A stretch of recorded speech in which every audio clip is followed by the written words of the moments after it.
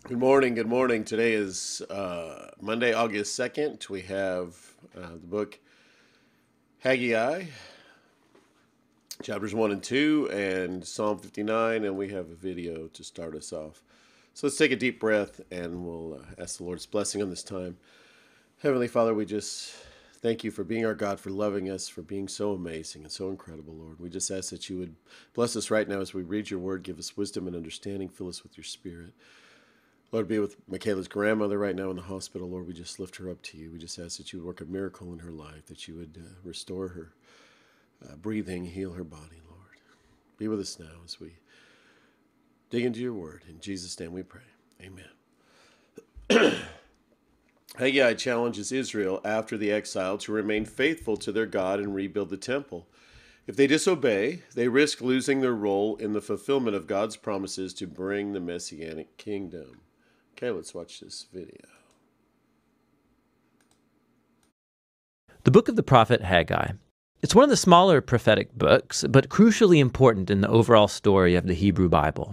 So, for centuries, the Hebrew prophets had been accusing Israel of breaking their covenant with God through idolatry and injustice, and they warned that God would send the great empire of Babylon to take out Jerusalem, destroy the temple, and haul off the people into exile. And it all happened in the year 587 BC. But that wasn't the end of the story. The prophets also believed that there was still hope, and that God would one day bring back a transformed remnant of his people Israel to live in a new Jerusalem, where God's presence would live in their midst. Now, when we turn to Haggai, the year is 520 BC, nearly 70 years after the exile. And the Babylonian Empire has recently collapsed, and the world is now ruled by the Persians. Now, they allowed the return of any exiled Israelites who wanted to go back to Jerusalem, which still lay in ruins. And so, under the leadership of a high priest named Joshua, and Zerubbabel, an heir from the line of David, and a group of exiles, they all returned and began to rebuild the city and their lives. Remember the story from the book of Ezra Ezra chapters 1 to 6. So our hopes are high, and the future seems very bright, but it's not, actually, at least from Haggai's point of view. The book consists of four sections that summarize Haggai's message given to the people of Jerusalem over the course of four months. He opens by accusing the people of misplaced priorities. And so, yes, they have come back to Jerusalem, but they're spending all of their time and resources rebuilding their own fancy houses, while the temple still lay in ruins from its destruction from 70 years ago. So Haggai asks, Are your own houses really more important than your allegiance to God? This neglect, Haggai says, is tantamount to the covenant rebellion of their ancestors, which is why the land is still unproductive, why they've been struck with famine and drought. And here Haggai's quoting from the list of covenant curses in the book of Deuteronomy. And so Haggai's challenging words, they're followed by a story of the people's response. Remember also the story in Ezra chapter 5. We're told that Zerubbabel, Joshua, the remnant of the people, were provoked by Haggai's message and they were motivated. They started rebuilding the temple. So in the next section, Haggai follows up one month later, and he addresses some problems of shattered expectations among the people. So the temple that they're rebuilding is really pretty unimpressive. It's nothing compared to the glory of the temple Solomon built here some 500 years earlier. And so morale was really low for finishing the project. And so Haggai reminds the people of the great prophetic promises of the future kingdom of God and about this temple. He draws from the earlier prophets, especially Isaiah and Micah, about the new Jerusalem and that it would be the place from which God would redeem the whole world and where all nations would come and participate in God's kingdom, resulting in an era of peace. And so the temple, it plays a key role in God's plans for the future. And Haggai calls on the people to work in hope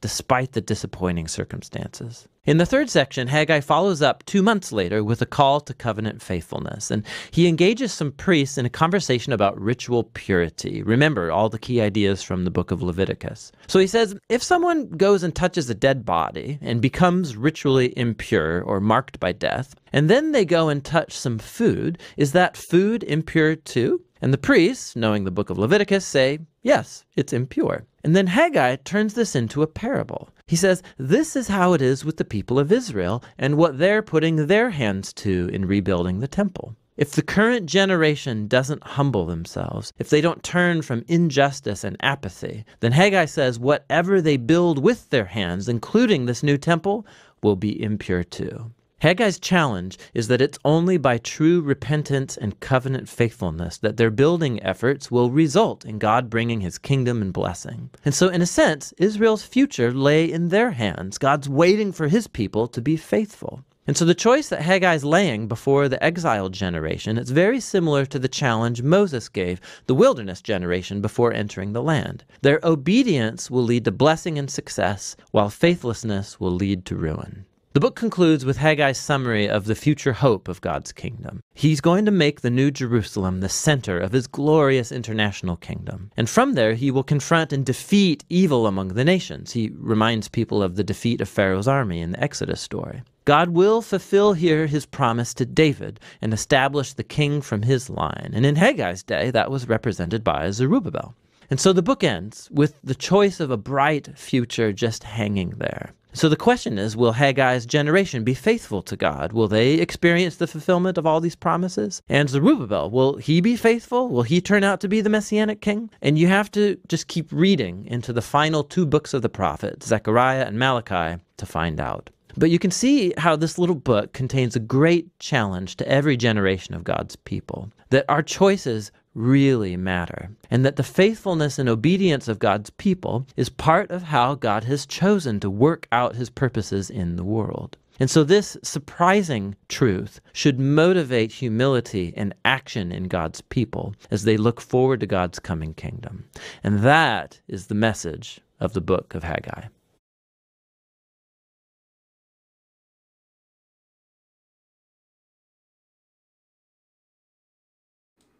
Okay, let's get into Haggai chapter 1, the command to rebuild the temple.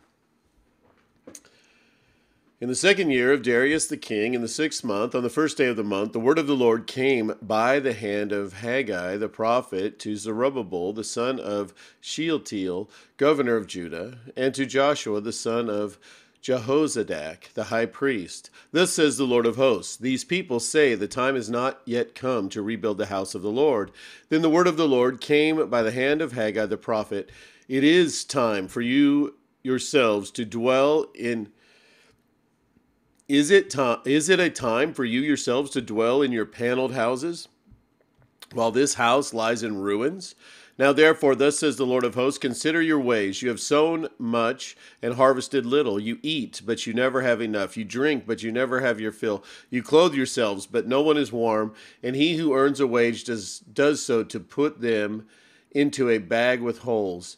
Thus says the Lord of hosts Consider your ways, go up to the hills, and bring wood, and build the house, that I may take pleasure in it, and that I may be glorified, says the Lord. You looked for much, and behold, it came to little, and when you brought it home, it blew away. Why, declares the Lord of hosts? Because of my house that lies in ruins, why each of you busies himself with his own house. Therefore, the heavens above, you have withheld the dew, and the earth has withheld its produce. And I have called for a drought on the land and on the hills, on the grain, on the new wine, the oil, on the on what the ground brings forth, on man and beast, and all their labors. Then Zerubbabel, the son of Shealtiel, and Joshua, the son of Jehozadak, the high priest, with all the remnant of the people, obeyed the voice of the Lord their God, and the words of Haggai the prophet, as the Lord their God had sent him. And the people feared the Lord. Then Haggai, the messenger of the Lord, spoke to the people with the Lord's message I am with you, declares the Lord. And the Lord stirred up the spirit of Zerubbabel the son of Shealtiel, governor of Judah, and the spirit of Joshua, the son of Jehozadak, the high priest, and the spirit of all the remnant of the people. And they came and worked on the house of the Lord of hosts, their God, on the twenty fourth day of the month, in the sixth month, in the second year of Darius the king.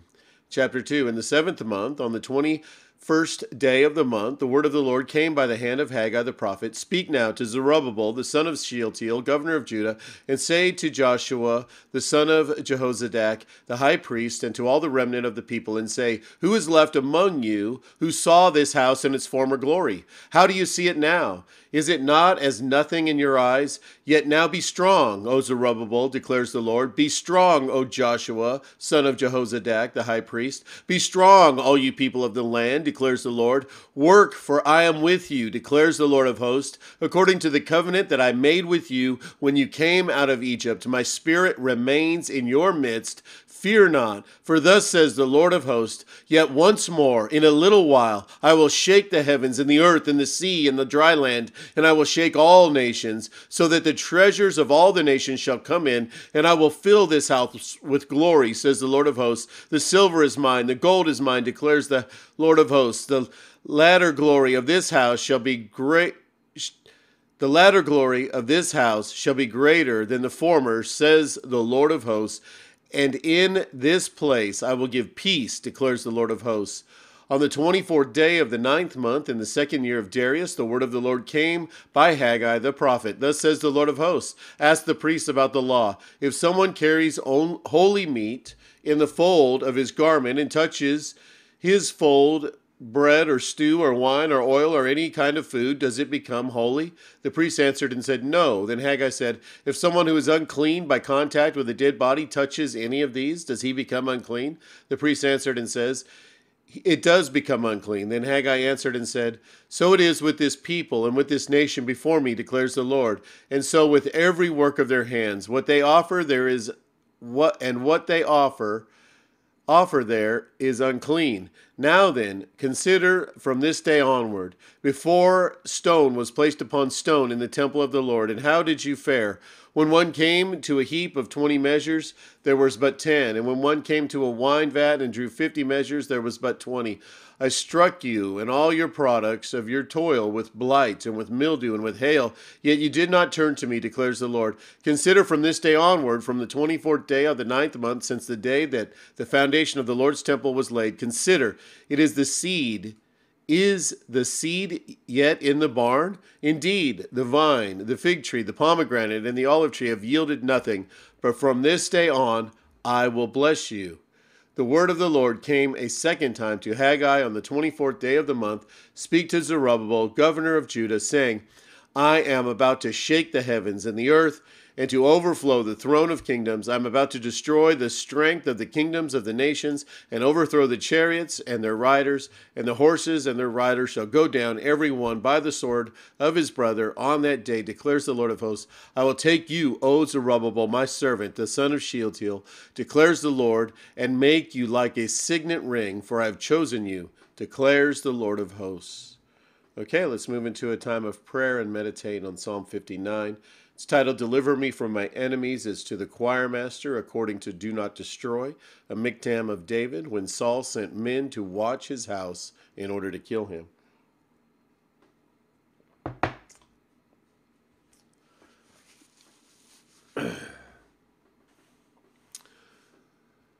Deliver me from my enemies, O my God. Protect me from those who rise up against me. Deliver me from those who work evil and save me from bloodthirsty men. For behold, they lie in wait for my life. Fierce men stir up strife against me. For no transgression or sin of mine, O Lord, for no fault of mine, they run and make ready. Awake, come to meet me and see. You, Lord of hosts, are God of Israel. Rouse yourself to punish all the nations. Spare none of those who treacherously plot evil. Selah.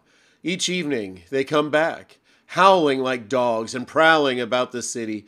There they are, bellowing with their mouths, with swords in their lips, for who, they think, will hear us?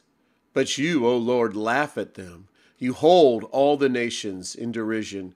O my strength, I will watch for you. For you, O God, are my fortress. My God, in his steadfast love, will meet me. God will let me look in triumph on my enemies.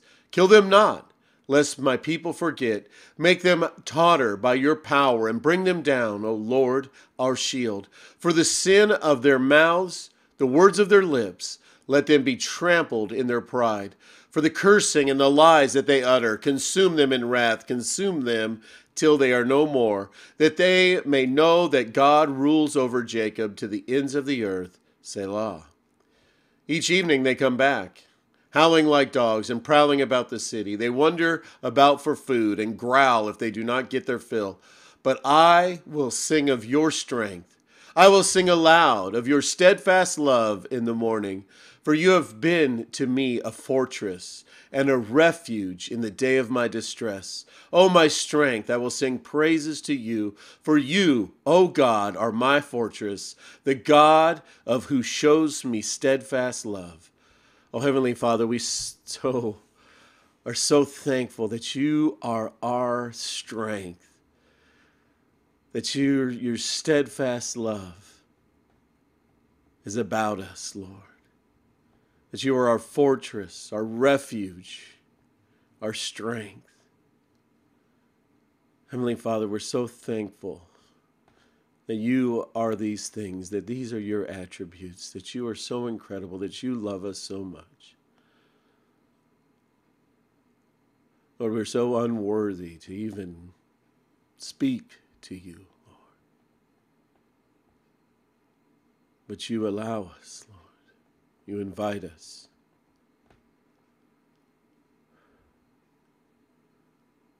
Like a loving father, still willing to listen to his rebel- rebellious children, Lord. We're so thankful for you and for your love for us, Lord. Lord, we just ask right now that you would be with Michaela's grandmother, Lord. She's in the hospital, and it's just not looking good, Lord, with COVID and uh, pneumonia, Lord. We just ask that you would, uh, Michaela asked that you would just clear up her lungs, Lord, that you would uh, restore her life, Lord. And Lord, we just, uh, that's our prayer, Lord. And Lord, we know your will ultimately we know you're going to do the right thing. You always do the right thing, Lord, and we can trust in that. We can have peace and rest that you always do the right thing in every situation, Lord. We're so thankful for that. Lord, we just ask that you be with again with Michaela's grandmother in the hospital right now, that you would heal her body, Lord, that you would restore her health. Lord, I think of Trish and Pam and those suffering, that you would lift them up, Lord, that you would restore their health. Father, we just ask that you be with those that are suffering, that those that don't know you, Lord, that you would draw people to yourselves, Lord. Lord, be with the church as the children's ministry is getting started, Lord, that it would just be uh, a blessing and effective and just a blessing to our fellowship, a blessing to the neighborhood there, Lord. That you would work in and through us, Lord, to bring people into your kingdom, Lord. We thank you, Lord. We love you. Just, just ask for your blessing upon this day. In the name of Jesus we pray. Amen. All right, guys.